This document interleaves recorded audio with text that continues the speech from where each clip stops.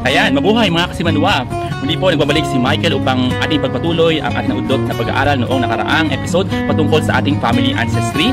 Ayan, so dapat nga ba natin ugatin ang ating pinagulan, ang pinagulan ng ating angkan at bakit? Okay, yan po ang ating tuloy-tuloy na pag-aaralan sa episode na ito. Part 1 of 2 po. So, samahan niyo po ako sa sama-sama nating pag-aaral dito sa Kasimanwa.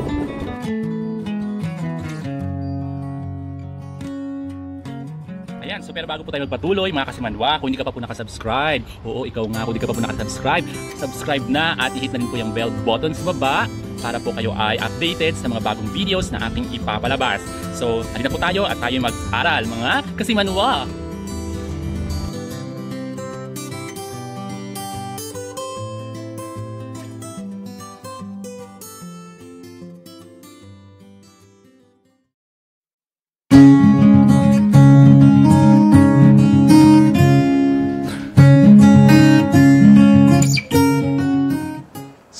Sa nakaraang episode mga kasimanwa ay tinalakay po natin ang etymology ng banwa na nangangahulugang bayan, nasyon, tao, or isang malaking bansa.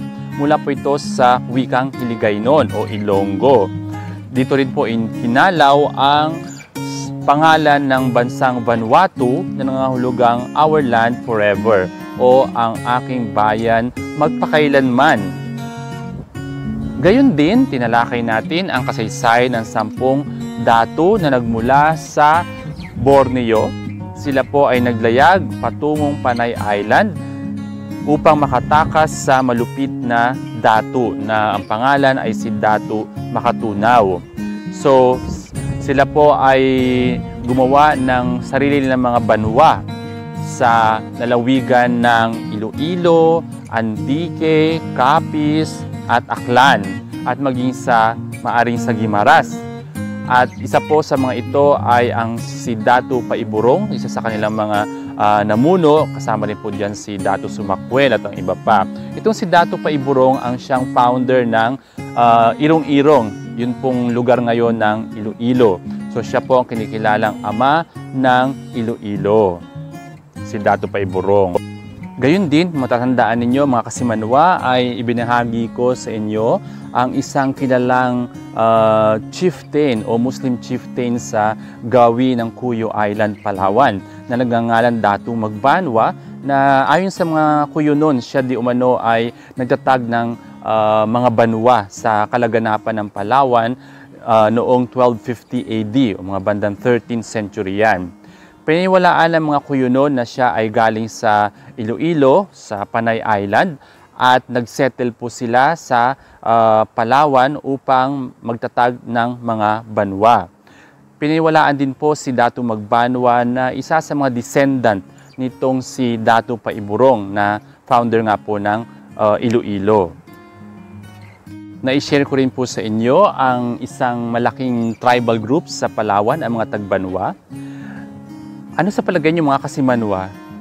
Sila kaya ay mga descendants din ni Datu Magbanwa or si Datu Magbanwa ay descendants ng mga Tagbanwa? Napaka-interesting po na pag-aralan ang bahaging ito ng kasaysayan. Kung mapansin niyo po, ang mga Tagbanwa ay may hawig ng kanilang wika. Okay? Ang wikang Tagbanwa at ang wika ng mga ng Kuyonon sa Kuyo ay may hawig sa uh, Hiligaynon at may hawig rin sa kinirayaan ng mga Antikenyo.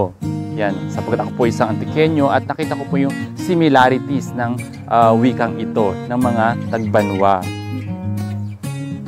Ayan, ngayon naman po ay papakilala ko sa inyo ang maari isa sa mga magigiting at matatapang na mga kapu-apuhan nitong si Dato Paiburong at Dato Magbanwa mula po sa Panay Island sa Iloilo. Ayan, ngayon naman po ay kilalanin natin ang tinagurian Joan of Arc ng Panay Island, si Nay Teresa F. Magbanwa ng Pototan, Iloilo. Si Nay Teresa po ay hindi lamang isang guro, kundi isang magiting na mandirigma. Opo, pinangunahan po niya ang batalyon ng mga lalaking mandirigma sa Iloilo at sa buong Panay Island at sila po ay nagwagi. Noong panahon ng Amerikano, siya rin po ay muling nakipaglaban, subalit uh, hindi po pinalad na manalo, at least pinakita po ni Nay Teresa at sampu na kanyang makasamahan ang giting ng mga Ilongga o ng mga uh, tao sa Panay Island. At maging nung panahon ng mga Hapon, sa kanyang katandaan ay namuno pa rin po siya at ginamit niya ang kanyang, ang kanyang pera upang uh, sustentuhan ang pangailangan ng mga katipunero upang ma-achieve ang kalayaan ng bansa. Si Nay Teresa Magbanwa. Isa pa rin magiting na Magbanwa mula sa uh, Panay Island ay itong kanyang kapatid na si Elias Magbanwa. Siya po ang kinikilalang um, bayani ng mga uh, Ilonggo sa Bacolod o sa Negros Occidental, si Elias Magbanwa.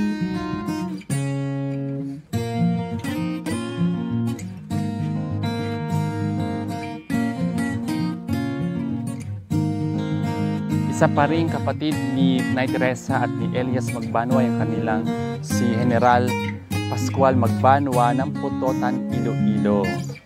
O di ba mga kasamanwa, ang lakas maka-feeling proud nitong si Nanay Teresa Magbanwa at ang kanyang mga mautol, ang kanyang mga kapatid, di po ba, na nakipagsila sila nakipaglaban sa mga uh, Kastila at sa mga uh, Amerikano, sa mga Hapon. Although hindi lahat po ay napagwagian nila, pero at least di ba, andun yung kanilang uh, tapang, ang kanilang determinasyon na kahit wala kaming mga high-tech na mga armas, ay meron kaming tibay ng loob at uh, dibdib. Napaka-tapang po nila para sabukain ang ganitong mga um, malakas na puwersa ng um, Europe at maging ng uh, Hapon, di po ba? Maging Amer ng Amerika. So sana po ay na-inspire tayo sa kanilang naging karanasan at lalo maging uh, magsilbi ng inspirasyon sa ating mga bagong henerasyon ngayon na tila ba wala nang pakialam sa uh, kanilang kasaysayan, sa, sa nakalipas. Hindi na nila inaalam kung ano ang mga matutunan nila sa karanasan ng mga matanda, di po ba? So dapat ay balikan tanaw natin yon at magkaroon tayo ng sariling refleksyon sa kanilang mga naiambag sa ating pagkatao at sa kasaysayan ng ating pamilya at sa kabuuan ng ating banwa ng ating bansa, di po ba? Ayan. So napaka interesting po ng ating talakayan ngayong uh, araw na ito mga kasimanwa. So tayo po ay magpatuloy.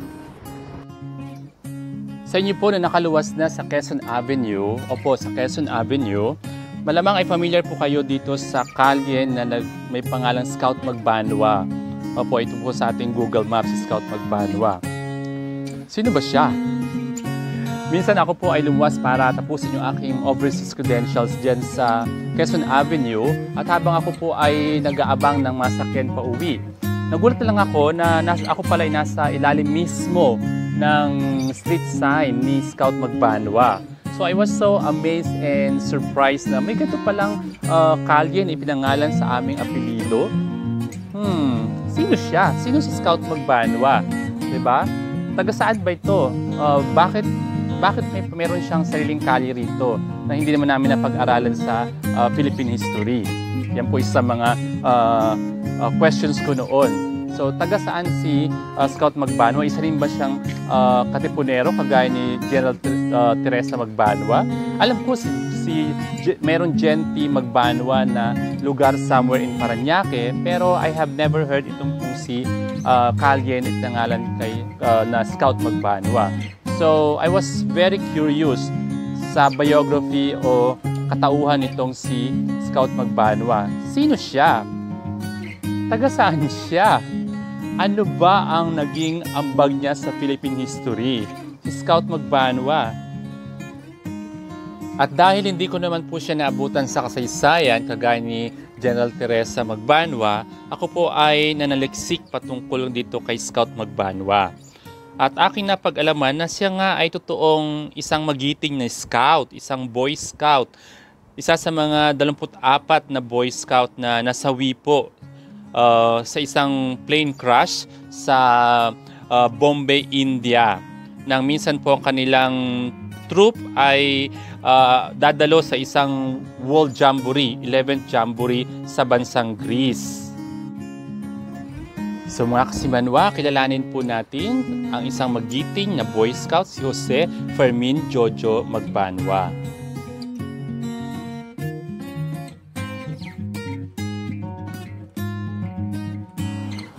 At alam nyo ba mga kasimanwa, na ito palang ating scout ay 14 anyos lang nang masawi nang sila ay patungo doon sa 11th World Jamboree.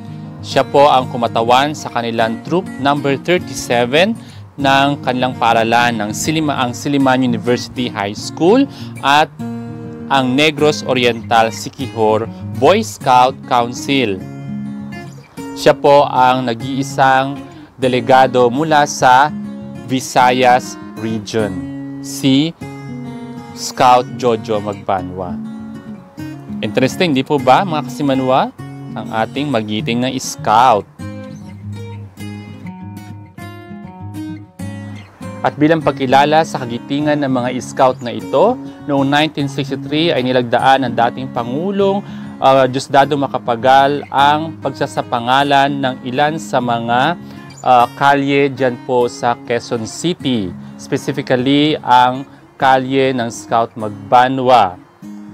Gayun din sa Negros Oriental ay nag-aalay ang mga Boy Scout at Girl Scout sa kanilang magiting na uh, Scout Jose Fermin Magbanwa. Diyan po sa uh, Boy Scout Headquarters sa Negros Oriental. Dati po yan nasa uh, Dumaguete Memorial Park, subalit inilipat na po ang kanyang uh, monumento, ang kanyang bantayog sa Boy Scouts Headquarters sa Negros Oriental. Lubusin ko na rin po mga kasimanwa ang pagtalakay sa mga magbanwa o mga magbanwa ng kasalukuyang generation. Nako, alam nyo mga kasimanwa, sobrang naging curious ako sa kung gaano na nga ba kalaki ang angka ng mga magbanwa. Yan po ang bigas ng iba, magbanwa. Gaano nga ba kalaki ang angkang ito? So ako po ay nag-research at syempre Facebook po ang tinignan ko. At sa aking pagbabrowse, ito po ang nakita ko mga kasimanwa sa Facebook.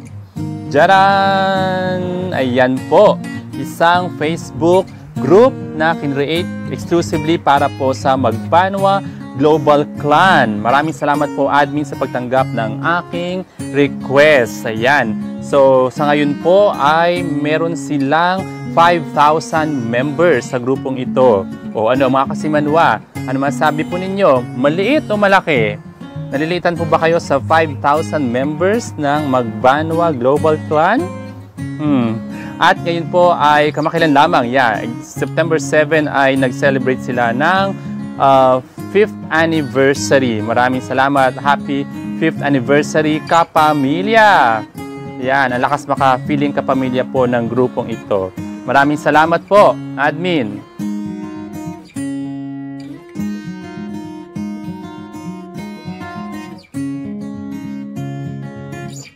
Ito po muli si Michael, mga kasimanwa, nag-aanyaya sa inyong lahat na kung naibigan niyo po ang mga video na aking upload ay makishare po kayo, pakilike at kung meron po kayo nais na uh, suggestion ay pakicomment na lang po sa ibaba at kaya din po ay maaari nyo rin po akong uh, bisitahin sa aking pong Facebook account. Pakitingnan na lang po sa ibaba. Maraming salamat po at sa muli po natin pakikita mga kasimanwa.